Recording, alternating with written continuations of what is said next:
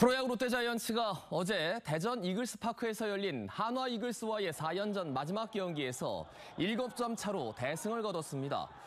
최영환 선수를 선발로 내세운 롯데는 2회 초 선취점을 낸 뒤 김민수 등 타자 4명이 잇따라 홈런을 뽑아내 경기를 7점 차로 크게 이겼습니다. 롯데는 아직 시즌 꼴찌를 유지하고 있지만 이번 경기로 4연패를 벗어나게 됐습니다.